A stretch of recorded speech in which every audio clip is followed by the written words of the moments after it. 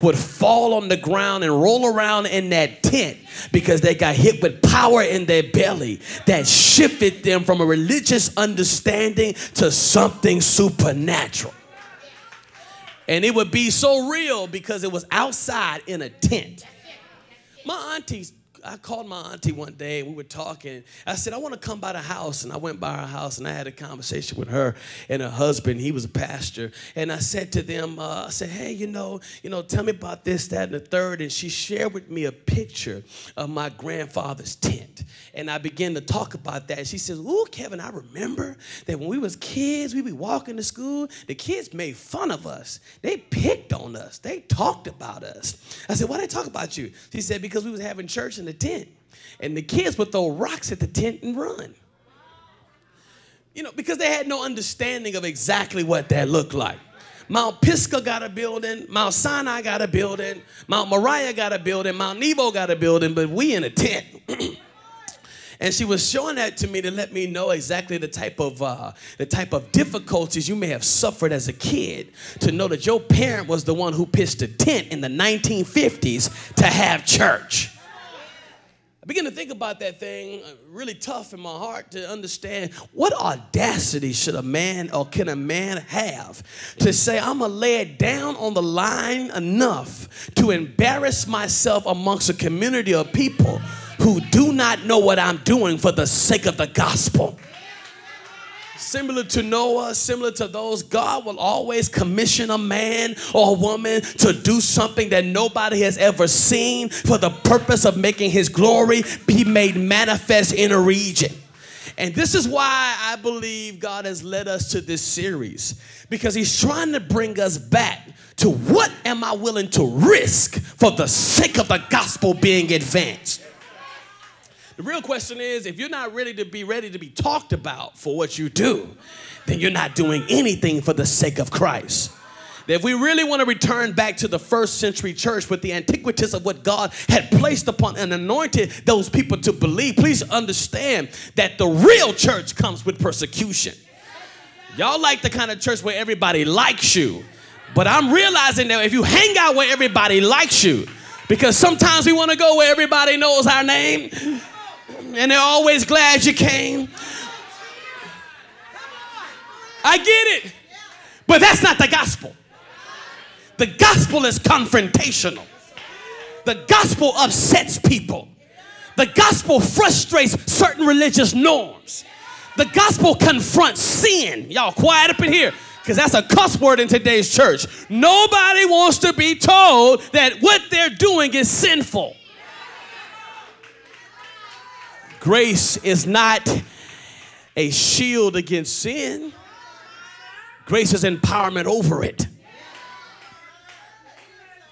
And so I was sitting here thinking, like, Lord, where do you want me to go with this? And I was telling telling all my preachers, we're talking in meetings, so it's not like I'm making it up now. We was having meetings, and I said, man, the gospel that I'm hearing preached today is nice gospel. It's the nice, happy Jesus. It's it's stuff that's not even, I'm not saying Jesus upset, but I don't know where in the scripture that we can preach about a God who just, just, I just love you. I just want you to be great. I want you to live your best life and just, you only, YOLO, you only live once. You get to do your own thing and be lit and have a great time in Jesus and just go enjoy life and go to heaven. But my Bible tells me he's returning with a sword. I'm waiting to hear the people that are okay with the understanding that he is coming back with judgment. That is actually happening. Hell is really real. And some folk, unfortunately, will be there because the people of God have not stood in the gap to preach the gospel or pitch him a tent.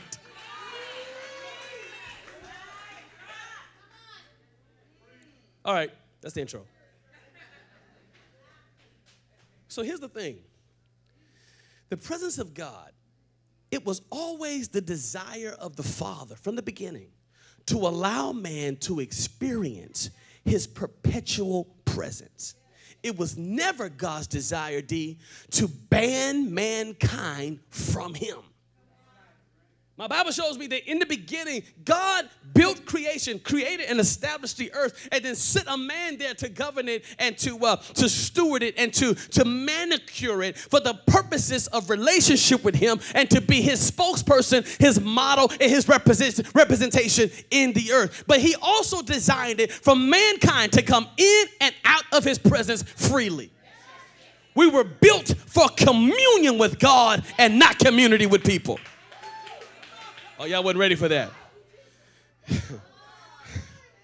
the need for the insatiable desire and thirst for people is really a result of being fallen.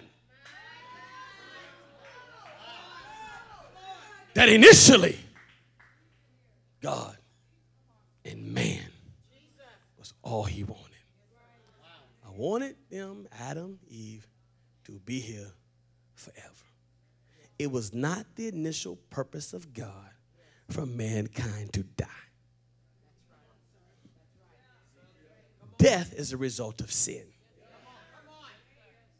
If things had went right to the prototype the way it was supposed to be, Adam and Eve would still be here. Take a deep breath, y'all. Blow it out. I know it's warm. So the longing for others came after the fall. We were content initially with him all by himself.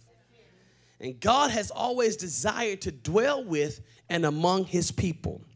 And this is revealed in the Old Testament and consummated in the New Covenant.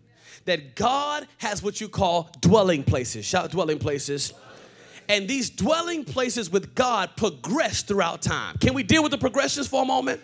Let's deal with first things. God dwelt with man before the interest of sin in Eden's dwelling before there was a tabernacle. God walked and talked with Adam and Eve in the garden. Genesis chapter 2, Genesis chapter 3. And Orthodox Judaism and historicity teaches us that Eden was elevated that the Eden was, or the, the knowledge of tree of good and evil and the, the tree of life was center stage. But Eden was elevated, which means in the beginning, man had to walk up to get to Eden that what separated the garden from everything else was the elevated presence of oh, the elevated part of the garden was where Eden actually was. Eden translates to his presence, which means mankind knew from day one that in order to be with God, he had to walk up to get him. That there had been a level of elevation of sight and vision and understanding, even posture. He was moving upward to get to God. From day one, it's a pattern of where God is and where we are. From day one, He's showing us that God is to be elevated, and in order to see Him, you got to shift your consciousness, your being, your posture, your physical man in a vertical perspective. Egypt was high, Eden was exalted, and Adam had to walk up to get to Eden. God speaks again, dwelling places. The Bible says that he walked and talked with Enoch and Noah and the patriarchs of their time, Genesis chapter 6. But in Genesis chapter 17, God appears to Abraham, to Isaac, and to Jacob and angelic visitations and open air visions. So now we know that God was in Eden and then mankind sinned. He pushed mankind out of the garden. Then God began to visit men through open air visions and begin to visit men through visitations and conversations with them. But it, the next place that he dwells is what he calls in the tabernacle of Moses. Exodus chapter 25. This is when God now begins to dwell with Israel. Then God gave further revelation and truth in his dwelling under the kingdom of David in David's tabernacle. And then God does it again in the temple of Solomon. The tension for these dwelling places or visitations is that they were temporary, seasonal, and conditional. What we don't understand is that in after the fall, when God ever showed up, it was because he had a specific reason. It was seasonal, it was conditional, or it may have been one dimensional to one particular person. But it wasn't a visitation that allowed him to remain. In other words, there were a level of stipulations and laws and rules that must have been fulfilled in order for him to manifest his presence in a previous context. So it depended upon man's entire ability to meet every requirement. So the presence of God then at that time was transactional, then it was transformational. Oh, y'all here tonight? Eh? I know it's hot. Shout this with me. It was transactional, then transformational. Which means if you do this, I will do this. If you do this, then I will do this. If you sacrifice this, then I will manifest this. It was transitional, then it was transformational. So mankind from the beginning is banished from the presence of God. God finds a way to show up again without it being, watch this, once at a time. He found a way to say, if you can't be with me, then I will find a way to be with you. It speaks to his longing to be with his creation. That because you messed up the pattern I gave you initially, that you sinned in my presence, then what I'm going to do now is find a way to still allow you to have access that's going to benefit you until I can completely flip this thing. Because what you messed up in an instant took thousands of years to repair. So what I what I'm going to do here is I'm going to establish a brand new pattern to allow me to have moments of visitation with you. Y'all ready for this? The first time we see a consistent dwelling situation was in the tabernacle of Moses, which is also known as a tent. As a matter of fact, they call it the tent of meeting. Help me, Jesus. So, what happens is in this tent of meeting, God speaks to Moses. He comes down from the mount with instructions. I want you to build me a home. I want you to build me a, one King James translation says sanctuary, but the real root word is a tent. I want you to pitch me a tent because I don't want to keep manifesting myself through bushes. I want to I want to show you who I am. And I want the people to see the vastness of who their God is. But in this tent, something has to happen. Something must die. And I, and I cannot give everybody access. So I'll anoint and I'll appoint the few that are necessary to be the ones sanctioned to be able to get into this place so that the people can look from afar off to know that I'm still with y'all. And this particular tent was mobile. It was one that was moved by the cloud by day and the pillar of fire by night. That it wasn't always erected at the same spot. That at the drop of a dime, Israel had to be knowledgeable enough and Moses had to be open enough that God is going to ask him to pick up the elements of this tent and move it at the speed of obedience. Somebody said it was movable. Say it was mobile. And in order for this tent to work, for you to see my presence, not only should something have to die, but blood becomes a requirement for visitation. But under this Mosaic covenant, God revealed truth to his people, the children of Israel, in five chief areas. He's given them now the law, moral law, civil law, and ceremonial law. He's given them the priesthood, and he's given them the Aaronic and Levitical priesthood himself, both of those. He's given them three chief priests the Passover feast, the Passover, the Pentecost, and the tabernacles. He has given them all of this for the simple purpose, hear me, for the simple purpose of creating and reestablishing a way to get connected again to mankind. He builds in his tabernacle the holiest of holy place, the most holy place, if you will, the holy place and the outer court. And in each of these apartments, there were particular pieces of furniture. And the holiest of all holies was considered the Ark of the Covenant. In the holy place was the golden altar of incense, the table of shewbread. I don't have time to unpack it. The golden candlestick. The outer court contained the brazen altar and the brazen laver. It was the holiest of all of all that was holy, of God's very presence, and where the Shekinah glory would dwell. And that's where God had communicated with man, dwelling in the midst of his chosen, the people of Israel, just as even now the presence of Christ dwells in the midst of his people, which we call the church. It's at this moment where mankind understands that through through what I am having to put together, my ceremonial this and ceremonial that, this allows me being taught by the Father that all of this is necessary in order to be connected to who God is. That what we messed up in the beginning has had consequences throughout time in order to get God back to the place where he can put together a plan to allow us to have relationship and fellowship with him. Now watch this. That's Moses' tabernacle, Moses' tent. Then we move from that tent of dwelling, because that one collapsed. So God says, I got to find another way because the Philistines have stolen the Ark of the Covenant. And Israel, through their disobedience, keeps losing. And somebody has stolen the ark, which is symbolic of his presence. The enemy, the Philistines, have taken away the Ark of the Covenant, which is symbolic of the person of Jesus Christ. It's, it means his presence, the ark. They took the presence. They took, they took, we had Eden. Eden was taken because of us. The Philistines have taken the ark of the covenant. How do I get back? David goes into battle. David brings back the ark of the covenant. And when David brings back the ark of the covenant, David says, I got to build him another tent. This tent was different than Moses' tent. Moses' tent requires sacrifice. David's tent requires sacrifices as well. But because David had a different understanding, because he's a cherub, I believe David is a psalmist, he's a priest, he's a prophet, he's a king. But more importantly, he's a strong prophet. He's prophesying Jesus before Jesus manifested in the flesh. he, David is amazing. David says, I got to build this one just like Eden.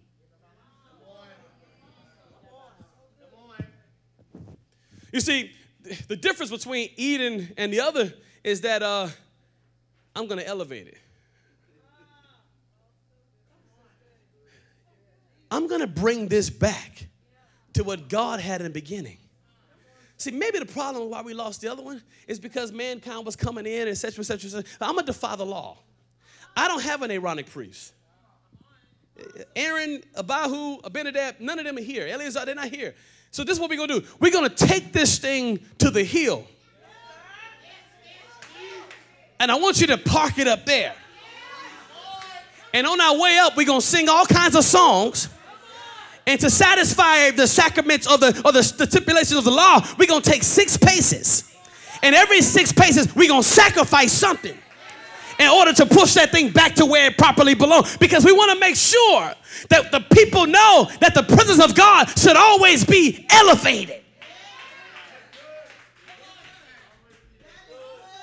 Now, in Moses' tent, you, you can look to the holiest of holies and you can see the smoke coming from the chimney area. You can see that God had just sacrificed something. The people are sitting outside around the camp looking like, okay, the smoke, uh, the smoke's up, y'all. They blow the shofar, whoop, and everybody goes crazy because they knew that their sins had been forgiven for a whole year. They shouting and bucking like, yes, we good. We got the next 12 months to do, to do, you know, they excited.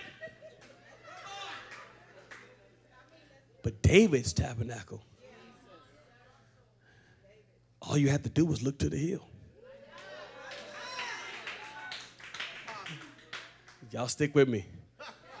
All you had to do from wherever you was in Israel or Jerusalem, should I say? Because remember, Jerusalem's in the valley. So the Bible says there was a man that went down and fell among thieves. It's down in the it's down in the valley. So the only place you can do in Jerusalem is look up. That's why David said, I look to the hills for which cometh my help, knowing that my help comes from the, the maker of heaven and earth. It was a shift in the understanding. David, as the old preacher say, looks up. Yeah. And so does Israel, Israel. But then something happened. God says, I want you to build me a house. I'm ready for another tent. And I want this tent to have brick and mortar. David says, I want to build it for you, God. He says, You can't. Your hands are too bloody. That's a whole lot right there. Because who can ascend to the hill of the Lord? Y'all, come here, Bible readers, preachers, except he that have.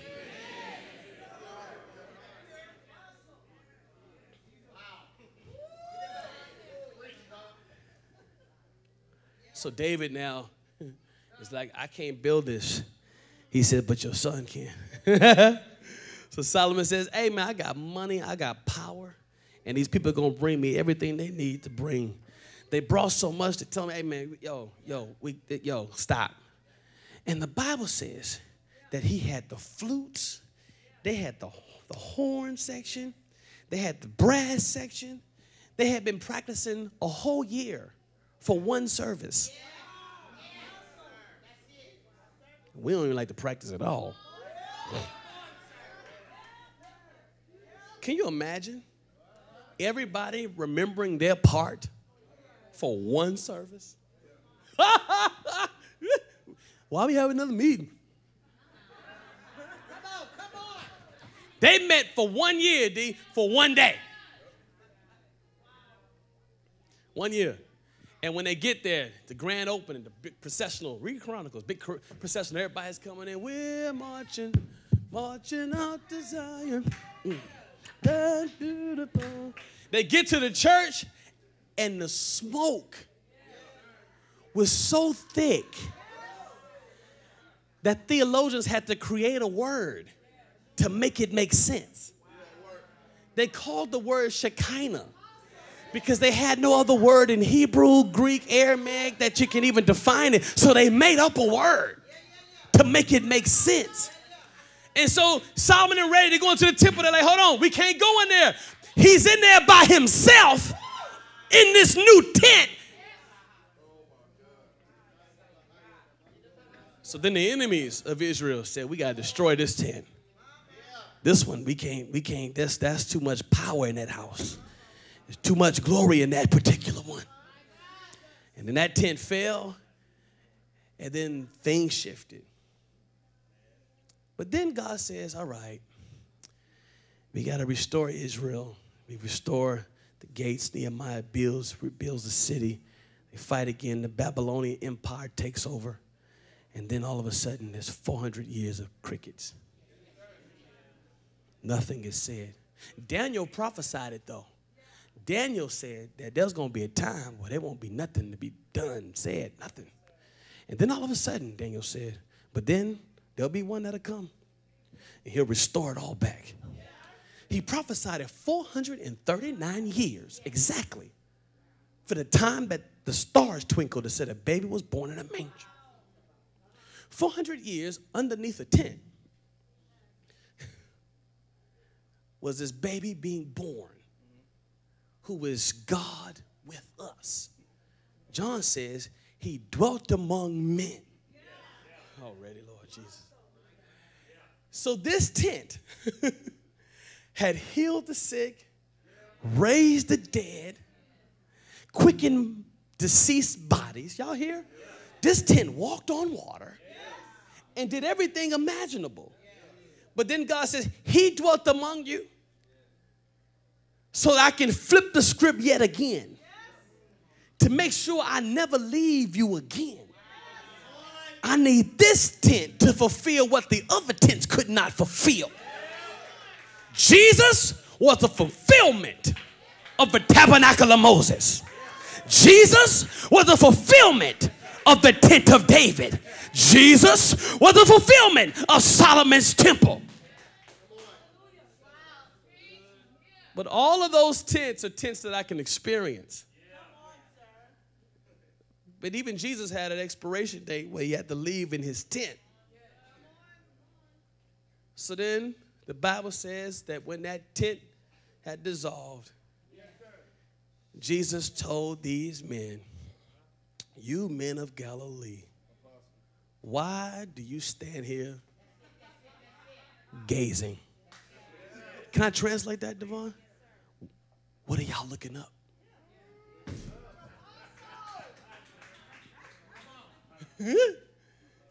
These men are staring up, looking for something. And Jesus said, Look here. Because remember, when he appeared, he's not, he's elevated. And they, they looking for him. He said, You men of Galilee, why stand you here gazing? He you look for he's not dead, he's risen. He talks to the 12, presents himself to the others, the 70, and he says, I want you to go to this upper room. I said, Lord, why are you showing me this? It was another tent.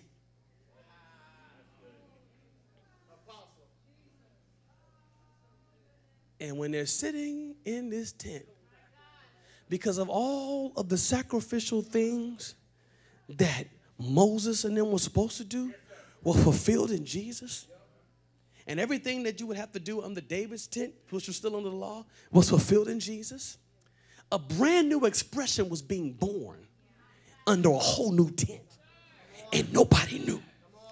120 people are sitting under this, in this place, this canopy of a building. And as they're sitting under this canopy, the Bible says, y'all read the text, that the sound of a mighty rushing wind filled the room. And tongues like of cloven tongues, like a fire, set upon each of them. And I said, Lord, what are you showing me? He said, Son, the truth of the matter is, when that manifestation happened, I was trying to show you all that I was undoing fully what I had did or what I had to ban you all from in Genesis chapter 3. I was restoring it because I kicked you out then. But in this one, if you allow me, I'll come into your tent to dwell with you. And because the sacrifices had been made, and had already been fulfilled through Christ. I have perpetual relationship with God and I can consistently encounter his presence in this tent. That the power of the Holy Spirit comes upon men. Y'all ready? To fulfill what he began in Eden. He said, I heard the Lord say, Tell them I told you I wanted to be with you. I still want to be with you. And the reason why we get to become witnesses is not for the casting out of devils. That's small stuff. It's the mere fact that I am walking woo, and living with the presence of God. The same Shekinah that fills Solomon's temple is the same Shekinah that sits in your belly. The same presence that filled Moses' tabernacle is the same presence that fills your belly. And the same glory that set up in the hill where David was is the same presence that sits in you. Here's the question Do you respect your tent?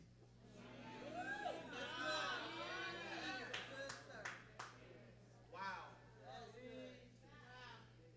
Because this thing is holy. See, the scripture in this flesh dwelleth no good thing, wrong covenant. In this flesh dwelleth the fullness of the Godhead bodily. That I get to carry. Are y'all here? My grandfather pitched a tent. My aunt told me that the kids used to make fun of them. She said they threw rocks at the tent. They called them names like holy rollers all that kind of stuff. I wonder what would possess a person to be willing to do something crazy for God, to allow other people to have the visitation of the presence of Jesus under a tent. Who's encountering God through you and your tent?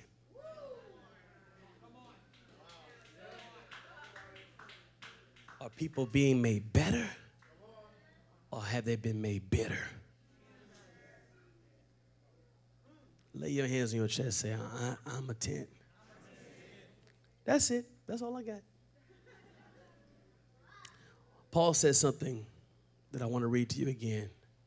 For we know that if the earthly tent, which is our house, is torn down, we have a building from God, a house not made with hands, eternal in the heavens. You know, this thing is so good that God says, with that tent, because it will dissolve just like those did. when that tent dissolves, you get a whole new one that does not dissolve. We talk about going from glory to glory. I think we're going from tent to tent.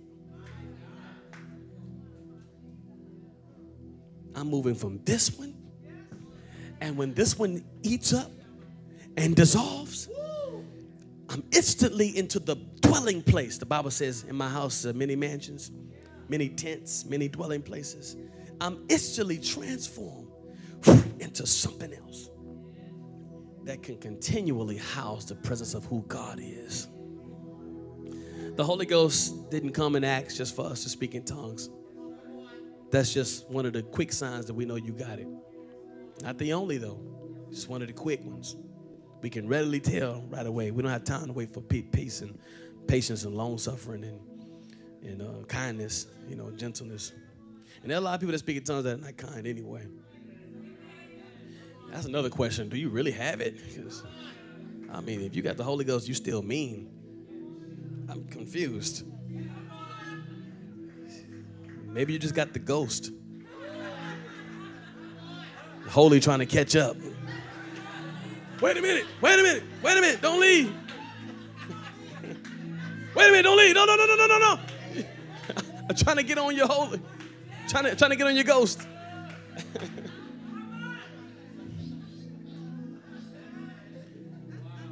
he said, For if indeed in this tent, this house we groan, longing to be clothed with our dwelling from heaven, inasmuch as we have put it on, will not be found naked. For indeed, while we are in this tent, shout this with me, we groan. Something in you should perpetually be groaning. Something in you just said, I'm not satisfied with what I have. There's always another part of God. And I'm willing to look foolish if it means apprehending that place with Him I'm done here. I remember when I was a kid, I would see folk, uh, Devontae in church, man, and them saints was the running and falling out, rolling. And we used to have, they had sheets back then too. You know, sheet ministry is not new. And uh, they had sheets. If they didn't have sheets, use somebody's suit jacket. Or they had that. I mean, somebody probably had a blanket somewhere.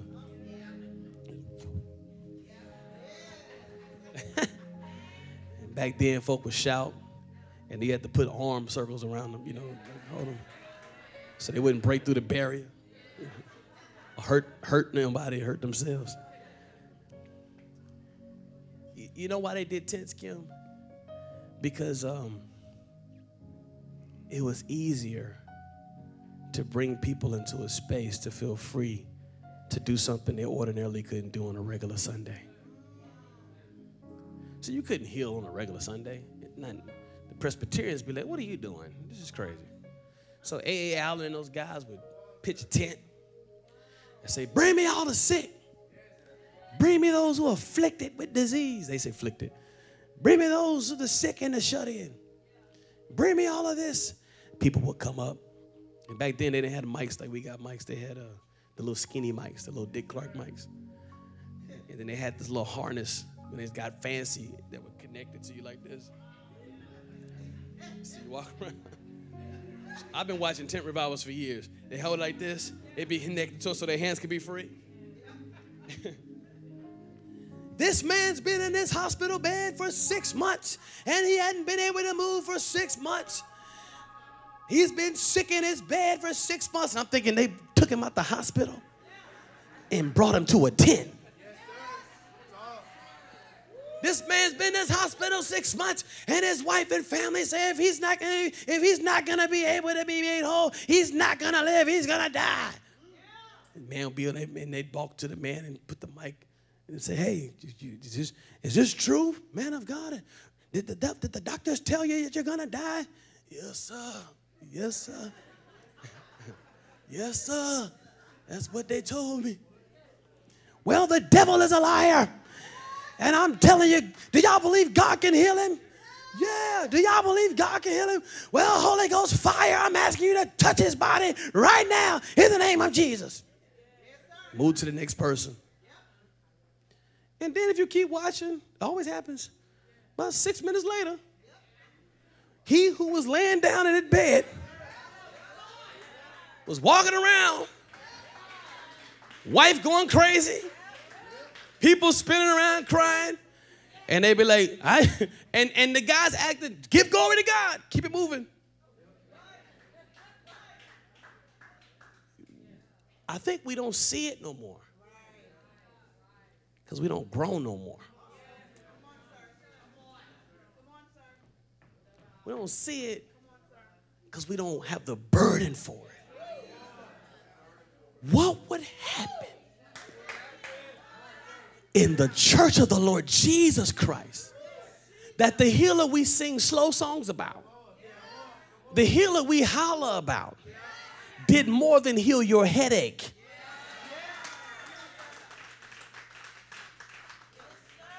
What would happen if we raised our expectation back?